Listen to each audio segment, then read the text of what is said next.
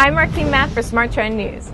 The New York Times announced plans to pay back a $250 million loan from Carlos Slim, according to a Bloomberg report, which is three years ahead of schedule. The company intends to repay the loan by January 2012 instead of January 2015, according to spokeswoman Abbe Serphos.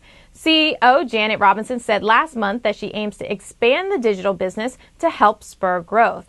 Times sales have fallen for three straight years, hurt by increasing competition from websites like News Corp's Wall Street Journal. SmarTrend alerted subscribers to take profits in the New York Times on July 1, 2010 at $8.60. Since then, the stock has fallen by 8.7%. We are now watching for any positive developments that could result in a new uptrend signal. I'm Martine Matt for SmarTrend News. For more news and market analysis, subscribe to our YouTube channel Trade the Trend and visit us at our website, tradethetrend.com.